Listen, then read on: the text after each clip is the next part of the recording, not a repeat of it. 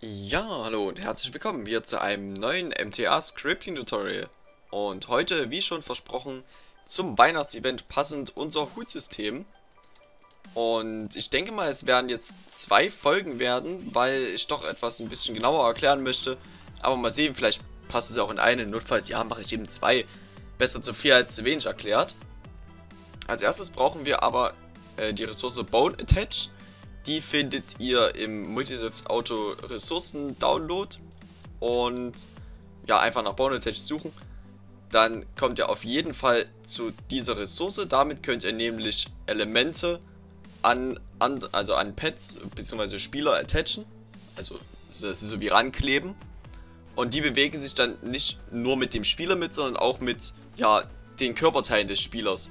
Sprich, wir attachen unsere Hüte dann an den Kopf des Spielers. Und wenn der Spieler jetzt hier die ganze Zeit so, ja, wenn er atmet, sich so hin und her bewegt, dann würde sich der Hut auch mit hin und her bewegen. Und nur mit Attach Elements, da würde das einfach nicht gehen.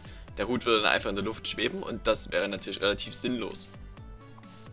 Gut, diese Ressource habe ich auch schon installiert und wir sind ja auch schon in unserer Testressource, da habe ich den neuen Ordner Head-System erstellt und auch alles schön eingetragen in unsere Settings.lua Head-System gleich True. Ich habe es auch die Schrift ein bisschen größer gemacht diesmal.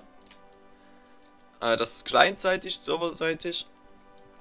Und ich habe ja einfach nur gefragt, if is testable head system, also wollen wir es gerade testen. Dann soll es die Ressource Bone Attach starten. Sprich, falls sie noch nicht gestartet ist, wird sie dann von MTA automatisch gestartet. Und das darf unsere Ressource, weil wir ihnen hier oben die Rechte gegeben haben. Und ich auch gerade in der äh, in der MTA Server Konsole hier die Rechte hinzugefügt habe. Da könnt ihr einfach ACL Request äh, Allow Test All machen. Und natürlich passiert jetzt nichts, weil es äh, keine Rechte möchte, aber trotzdem, da wird es dann alles erlauben. Gut. Fangen wir direkt an. Samaka hat mir zum Glück einen Hut geschickt, einen Weihnachtshut, also eine Textur und das Modell davon. Den müssen wir jetzt erstmal importieren. Und dazu möchte ich euch direkt die Wiki-Seite zeigen. Wir gehen jetzt hier nämlich einfach mal auf Engine. Engine. Load. Einfach mal auf DFF. Und ihr seht schon, es ist sehr einfach. Wir haben einfach nur die TXT, die DFF und die müssen wir einfach nur einfügen. Das mache ich extra, ich habe es euch jetzt extra nochmal gezeigt, weil es im MTA-Forum relativ viele Beiträge gibt. Ja, wie füge ich Car-Mods ein und so weiter. Und es ist exakt das gleiche mit dem Hut. Wenn ihr jetzt auch Infernos einfügen möchtet, ist es exakt das gleiche. Also fügen wir das ja kurz ein. Äh, natürlich schreiben wir vorne noch Local davor, damit die Textur und DFF äh, nicht in den ganzen Dateien hier erstellt wird. Und unser Hüte, äh, beziehungsweise unser Hut ist hier unten restmod santahead.dff und .txd. Und die DFF-Datei ist jeweils die, die dem Modell die Form gibt und die TXT-Datei, da sind die Texturen drin. Wir können auch mal kurz sehen. Ähm, wo ist es? Achso, ihr könnt es natürlich nicht sehen, Moment. So. Äh, wir haben hier Resources, äh, Mods. Die DFF-Datei ist nur 17 Kilobyte groß und die TXT-Datei 65, also insofern kein Problem. Ähm, wir packen aber hier noch einen Event-Händler hinzu für On-Client Resource Starts. Da möchten wir unsere Ressource haben, also, upsala, Resource Root. Funktionsklammern können wir auch leer lassen. Damit also die Modelle erst geladen werden, wenn die Ressource gestartet hat, sprich alles heruntergeladen hat. Denn wenn wir ein Modell laden, weil es noch nicht runtergeladen hat, dann wird es einfach nur einen Error geben. Und jetzt auf dieser Wiki-Seite von äh, Bone Attach ist ja schon ein Beispiel. Exports.boneattach, Doppelpunkt, Attach Elements to Bone. das kann ich kurz erklären. Exports sind einfach nur... Es ist eine feste Variable, die es in MTA gibt, sowohl Client als auch serverseitig. Dann kommt danach der Ressourcenname. Doppelpunkt Funktion, die man in der Ressource aufrufen möchte. Dazu ist aber wichtig, dass die äh, Ressource die Funktion auch aktiviert hat. Wir können mal kurz sehen unter Bone Attach, ob wir da etwas finden. Äh, zum Beispiel in der Meta. Ah ja, hier Export Type, Server und Client, sprich hier werden die ganzen Funktionen für andere Ressourcen aktiviert. Und somit können wir Funktionen von anderen Ressourcen aufrufen, ohne dass wir jetzt das gesamte Bone Attach hier rein importieren und in unsere Meta schreiben. Gut, das aber nur nebenbei. Äh, der Pet wäre also ich, sprich LP. Und, ach so, jetzt brauchen wir natürlich noch ein Element, beziehungsweise ein Modell, bei dem wir diese gesamten, also TXT und DFF ersetzen. Und da gibt es einen relativ einfachen Trick. Ich stoppe mal kurz Test und starte den Ed Ups, Editor. So. Schauen wir hier in Free Room rein. Und dann gibt es hier die Objekte, die heißen Casino Items. Hier Casino Items. Und da ist eigentlich äh, nur Rotz drin, kann man schon sagen. Hier diese ganzen Chips zum Beispiel. Niemand braucht diese Chips. Und deswegen können wir jetzt einfach hier den erstbesten ersetzen, die 1853. 1853 und natürlich TXT und DFF auf das gleiche Modell ziehen. Somit haben wir das Modell 1853 jetzt mit unserem Hut ersetzt. Gut, also erstellen wir das nochmal hier kurz. Local Head gleich Create Object äh, 1853 000 erstellen wir einfach auf der Mitte der Map, ist ja vollkommen egal. Wir Heads und äh, ja, dazu komme ich gleich noch. Hm, jetzt können wir erstmal den Editor wieder zumachen. Das war eigentlich nur, um euch zu zeigen, wo es das gibt. Ähm, Stop Editor. Ganz viele tolle Errors. Und Start Play Igitt. So. Gehen wir wieder zurück an den Anfang. Das war ungefähr hier, hoffe ich. Vielleicht. Perfekt. Und jetzt würde ich einfach mal sagen... Äh, ja, das passt alles. Restarten wir nochmal kurz. Es kann sein, dass es jetzt einfach gelöscht wurde. Nein, okay, warum erstellt es unseren Hut nicht? Damit können wir jetzt einfach äh, Output Chatbox überprüfen, was ja eigentlich passiert, ob das überhaupt geladen wird hier.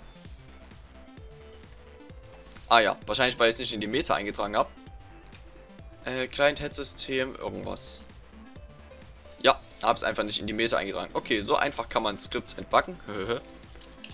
ähm, schreiben wir das noch kurz rein, dauert ja nicht lange. Head System Head System main.lua. Perfekt. Restart. Okay, und jetzt haben wir hier die Weihnachtsmütze am Arm. Oder an der Hand oder, oder was auch immer. Und ihr seht schon, die sieht relativ cool aus. Sprich, wir wollen die jetzt natürlich auf dem Kopf haben. Und dazu gehen wir nochmal hier hoch auf die äh, Ressourcenseite. Steht nämlich Function Descriptions and Bone IDs can be found in functions.txt in the resource. Sprich, alles was wir brauchen steht in der Ressource. Gehen wir doch mal rein. Functions.txt. Ah ja, Bone IDs. 1 Head. Wunderbar. Ähm, attach Element to Bone. Da haben wir also Element Pet Bone. Sprich, das dritte Argument müsste eigentlich 1 sein. Mm, also das hier setzen wir das mal auf 1. Mal sehen, wie es aussieht. naja, fast. ähm, setzen wir das so raus. Also das hier hinten sind die drei Rotationsangaben und das die Positionsangaben. Vielleicht setzen wir es einfach mal auf 0,5, damit es etwas höher ist. Naja, fast. Vielleicht doch nur auf 0. Ja, setzen wir das 0,05. So müsst ihr eben ein bisschen rumtesten, bis es ungefähr passt. Okay, Ich hätte das eigentlich auch schon zuvor machen können, aber ganz ehrlich, da lernt er gleich mal, wie krass das immer ist. Wenn man irgendwas testen möchte, gut. Äh, jetzt hat es ungefähr die gleiche Höhe. Es macht nichts, wenn die irgendwie zu groß ist oder so. Denn die Skins haben ja auch unterschiedliche Köpfe. Und wenn ihr es jetzt an einen Skin wunderbar angepasst habt, dann passt es bei manchen anderen vielleicht nicht mehr. Gut, aber wir können die Mütze trotzdem noch ein bisschen kleiner stellen, indem wir einfach äh, äh, äh, Set Element Oh nein, ich weiß die Funktion nicht mehr. Set Object Scale war das, glaube ich. Head machen wir mal auf 0,8. Ja, okay, jetzt ist sie ein bisschen kleiner, die Mütze. Fast schon ein bisschen zu klein. Hm. Wir sehen, dieser, äh, die Mütze hat so eine ovale Form. Und der Kopf ist nach vorn oval, also könnten wir die theoretisch um 90 Grad drehen. So dass diese Bommel nach hinten zeigt. Und schon perfekt. Müssen wir sie nur noch etwas verschieben. Weil eigentlich passt sie schon fast. Also ihr seht schon, es kommt nah einer Mütze. Jetzt muss sie noch etwas nach rechts. Das ist die zweite Koordinate. Setzen wir auch mal auf 0,05. Mal sehen, ob sie da nach rechts oder links geht. Jetzt habe ich es nicht gesehen. Also vielleicht 0,1. Upsala. Äh, schieben wir diesmal etwas nach drüben. Oh, ich schiebe die ganze Zeit nach vorn. Das erklärt einiges. Äh, 0,1. So. Okay, dann muss es also genau umgedreht sein. Minus 0,1. Ist ein bisschen Koordinaten hin und her schieben, aber irgendwann passt es dann eventuell. So natürlich auch nicht. Äh, minus 0,1. 05. Ich merke schon, ich passe es doch zu genau an. Fast. 0,3. Es ist 100 pro 0,3. Yeah. Jetzt ist es zu weit vorn. Setzen wir das mal wieder auf 0. Mal sehen, was passiert. Hm. Das sieht alles noch nicht so ganz toll aus, wo ich jetzt sage, oh wow, das ist der beste Hut, den ich je gesehen habe. Aber so, der, ja, so, so lassen wir das jetzt. Ist ein bisschen zu hoch, aber das macht ja nichts. Auf jeden Fall hat dieser nette Pet jetzt hier einen Hut. Aber jetzt sehen wir das natürlich nur kleinzeitig, denn wir haben es ja kleinzeitig in On-Client Resource Start eingetragen. Sprich, jeder Spieler würde seine Mütze für sich selber sehen, aber er würde nicht die Mützen von einem anderen Spieler sehen.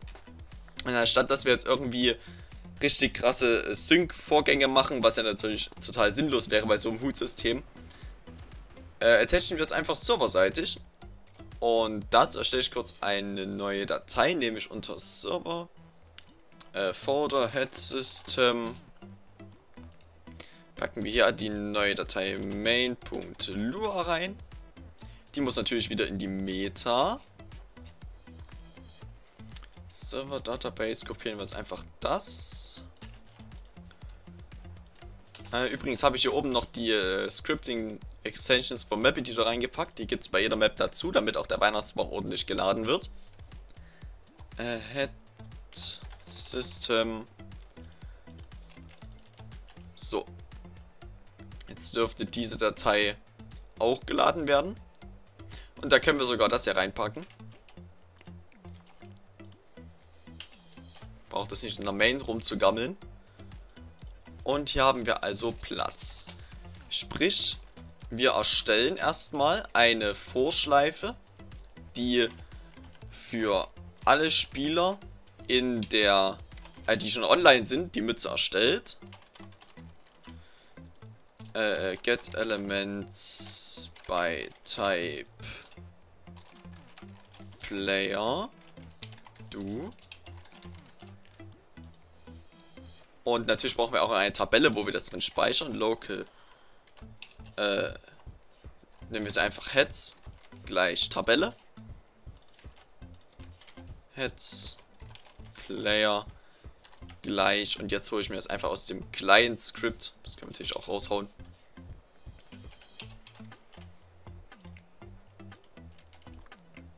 Heads. Äh, Heads mit dem Index Player ist jetzt unser Objekt. Deswegen müssen wir es auch hier so verwenden.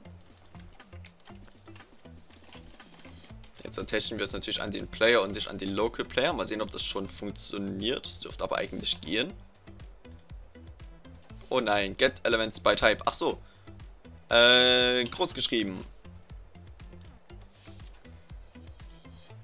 Wunderbar. Jetzt haben wir also serverseitig unsere Mütze und jeder andere Spieler würde diese Mütze jetzt auch sehen. Jetzt können wir das natürlich noch etwas ordentlich einrücken. So. Und ihr merkt schon, was ich hier vorhabe. Heads Player gleich Create Object. Und äh, wenn wir jetzt abfragen, if Heads und dann mit dem Spielerargument, dann würde es natürlich auch wieder ausgeben, dass es das Objekt ist und nicht irgendwie nichts. Und somit können wir abfragen, ob der Spieler schon einen Hut hat oder nicht, ganz ohne Element Data. Und jetzt erstellen wir noch einen Händler, äh, wenn der Spieler joint. On Player Join. Machen wir jetzt einfach aus Root-Element, das ist, erspart uns einige Arbeit. Ähm, wir können das natürlich auch so machen, wir erstellen uns hier oben zwei Funktionen. Local Add Head Player.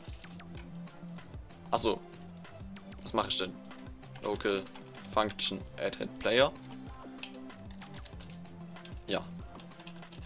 Und was mache ich denn? Das will einfach nicht entschreiben. So. Und dann noch die Funktion Local Function Remove Head.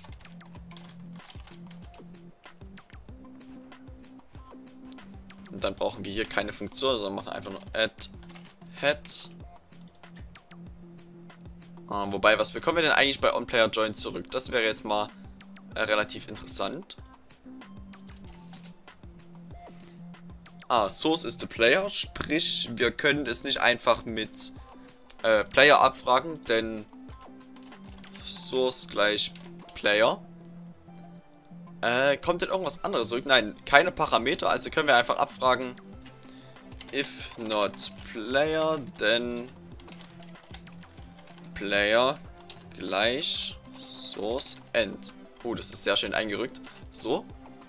Das erkläre ich kurz. Wenn wir add head aufrufen und einen Spieler haben, also indem wir jetzt einfach hier add head machen und dann ein Spielerelement, dann würde es diese Zeile einfach gekonnt überspringen. Aber wenn wir es hier mit diesem Event-Händler aufrufen, dadurch, dass hier keine Parameter zurückgegeben werden, ist der erste Parameter nichts und deswegen frage ich es einfach ab, wenn es nicht diesen Parameter gibt, dann ist der Parameter Source, denn Source ist in einem Event immer das Element, was auf dem Event, also warum dieses, Moment, warum dieses Event getriggert wird.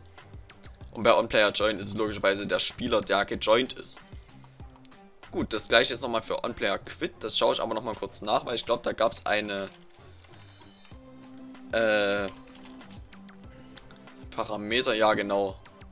String Quit Type. Äh, aber das können wir auch ganz einfach lösen. If Type Player gleich gleich String. So. Äh, das erkläre ich auch nochmal kurz. Wir bekommen bei OnPlayer Quit äh, ein Parameter als, erste, als erstes Argument zurück. String Quit Type. Da gibt es einfach nur an, was denn der Spieler gemacht hat, um, dis, äh, ja, um einfach aus dem Spiel zu gehen. Und das ist natürlich immer ein String und nichts anderes. So steht das hier. Und deswegen können wir einfach abfragen, wenn dieses erste Argument ein String ist, dann ist Player Source. Genauso wie hier oben ist die gleiche Erklärung. Und dann machen wir noch on Player Quits Remove Heads. So, jetzt haben wir schon mal unsere erste Funktion. Die machen jetzt natürlich noch nichts. Deswegen sagen wir hier einfach, packen wir das raus. Heads Player, das bleibt ja alles so. Und wir machen hier unten noch, das kann alles raus. Und Destroy Element Heads Player damit es also das Objekt an sich zerstört, wenn der Spieler offline geht. Ansonsten habt ihr dann einen Haufen schwebende Hüte, denn das will wirklich keiner. Und Headsplayer gleich nil, damit, wenn ein anderer Spieler die User-Data bekommt, also sprich den Wert vom Spieler, dass dieser dann nicht irgendwie noch Reste der Tabelle übrig hat, um dann, keine Ahnung, es kann zu Bugs führen auf jeden Fall, ist jetzt ein bisschen schwer zu erklären. Äh, ja, dann wird es einfach auf Nil gesetzt, sprich diese Zeile wird wieder aus unserer Heads-Tabelle gelöscht. Gut, jetzt müssen wir natürlich ja auch noch Add Head Player machen. Und jetzt würde ich das gerne noch mal kurz zusammenfassen, denn ich habe so das Gefühl, dass ich jetzt ziemlich schnell alles erklärt habe und dass vielleicht Scripter, die gerade am Anfang stehen, das nicht ganz verstanden haben. Und das wäre natürlich sinnlos. Warum soll ich ein Tutorial machen, was keinem was bringt? Also, wir haben hier erstmal unsere Vorschleife. Die fügt beim Ressourcenstart allen Spielern, die gerade online sind, einen Hut hinzu. Einfach nur, damit alle Spieler einen Hut haben. Denn Ansonsten müssten, wenn ihr auf eurem großen Server zum Beispiel die Ressource startet, alle Spieler reconnecten, sprich den Server verlassen und wieder drauf gehen, damit sie einen Hut bekommen und mit diesen drei Zeilen kann man diesen ganzen Aufwand einfach verhindern. Und natürlich möchten auch alle Spieler, die nach dem Ressourcenstart auf euren Server kommen, noch einen Hut haben, deswegen haben wir diesen Event-Händler hinzugefügt. Und wenn der Spieler dann wieder disconnected, möchten wir nicht, dass die Hüte dann ohne Spieler irgendwo rumschweben oder irgendwo noch Objekte stehen, die einfach, ich sag's mal, Datenmüll sind, die braucht ja dann keiner mehr. Deswegen haben wir hier Remove Head verwendet, um den Hut vom Spieler wieder zu löschen. Und dies mit dem Player, das war vielleicht etwas komisch erklärt. Ihr müsst euch vorstellen, egal was ich hier reinschreibe, es wird immer das erste Argument sein. Also auch wenn ich hier Hans reinschreibe, das ist genauso wenig ein Spieler, wenn es halt eben kein Spielerelement ist.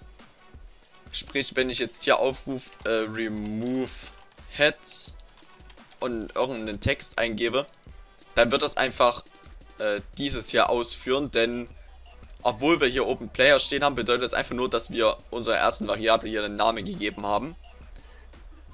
Und wenn diese Variable ein String ist, dann wird Player Source sein, was natürlich in dem Fall auch relativ sinnlos wäre und nichts macht. Äh, vielleicht sollte ich hier sogar noch ein äh, if-Abfrage reinbauen. If is Element Heads Player, damit wir einfach mal abfragen, ob es das denn überhaupt gibt. Denn es wäre relativ sinnlos, ein äh, Element zu zerstören, was es gar nicht gibt. Und wir sollten vielleicht auch noch abfragen, if heads äh, Player, denn weil ansonsten würde nämlich jeder oder wir fragen hier oben einfach ab, ob denn die Zeile in der Tabelle überhaupt existiert. Denn ansonsten bringen die ganzen anderen Zeilen dann auch nichts mehr hier unten. Und diese if heads Player könnt ihr euch einfach nur vorstellen, wenn es in der Tabelle Heads den Eintrag Player gibt, also den Eintrag mit dem Element des Spielers oder beziehungsweise den Eintrag mit dem Wert, den wir hier übergeben, dann soll es irgendwas passieren. Das ist äh, genau das gleiche, wenn ich hier hinschreibe, äh, gleich gleich true. Wobei hier ist das Problem, hier vergleicht es, ob es wirklich true ist. Und es ist ja nicht true, denn es ist unser tolles Objekt. Deswegen sowas immer nicht machen, denn ihr wisst ja nicht, was in der Tabelle drin steht. Also meistens schon, aber in dem Fall zum Beispiel nicht. Und da fragt ihr einfach ab, ob es denn überhaupt existiert. Der Wert davon ist erstmal vollkommen egal. Hauptsache, es ist etwas da. Gut, jetzt testen wir es nochmal kurz, nicht, dass ich irgendwo einen Rechtschreibfehler drin habe. Sieht äh, momentan ganz gut aus. Wir haben also hier einen gut an uns dran kleben. Und ich würde mal sagen, wir sind erst bei, wie ich das überblicke, 22 Minuten, 23, keine Ahnung. Dann könnten wir da schnell zwei Commands schreiben, mit denen die Spieler die Hüte auf- und absetzen können. Natürlich mache ich diese Command jetzt nur, weil ich eure Systeme nicht kenne. Wenn ihr zum Beispiel ein äh, Klicksystem habt, dann können die Spieler einfach auf sich selber klicken und den Hut wieder absetzen und so weiter. Aber ich möchte jetzt nicht mit euren Systemen dann irgendwie äh, in ja, dass eure Systeme dann mit meinem nicht mehr funktionieren oder so, das will ich einfach nicht. Und deswegen mache ich es einfach mit Command-Händlern, den wir hier kurz add Command Händler. Äh, nennen wir es einfach Head Function. Jetzt kommt unsere Tabelle wieder ins Spiel und das erste Argument von add Command ist immer ein Spieler, der den Command eingibt. Das kann ich euch kurz zeigen. Hm, wo ist es denn hier mal? Händler Function Parameters. Hier, erstes Argument ist immer ein Spieler. Gut. fangen wir hier also weiter an. Äh, Heads Player haben wir das ja genannt, also if Heads Player, das haben wir schon hier oben gemacht, indem wir, also hier haben wir es abgefragt, ob es denn überhaupt einen Hut gibt. Denn, else, ich mache das mal kurz fertig, so. Äh, if Heads Player, then remove Head. Sprich, gibt es einen Hut, dann entferne ihn bitte.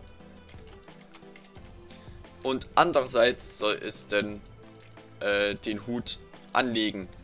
Sprich, wir geben einfach dann slash head ein und schon geht es los. Slash head, bam, slash head, bam. Ihr seht, wir können jetzt diesen Hut einfach äh, ganz normal auf und wieder absetzen. Und jetzt vielleicht noch ein kleiner Tipp, wenn ihr wirklich wollt, dass bestimmte Spielerskins zum Beispiel eine andere Hutposition haben, weil er sagt, uh, das ist mein Skin, ich möchte das so genau wie möglich haben mit 100 Nachkommastellen, dann bitteschön, zeige ich euch, wie das geht, kein Problem. Wir erstellen uns hier oben einfach eine neue Tabelle. Local Head Pos.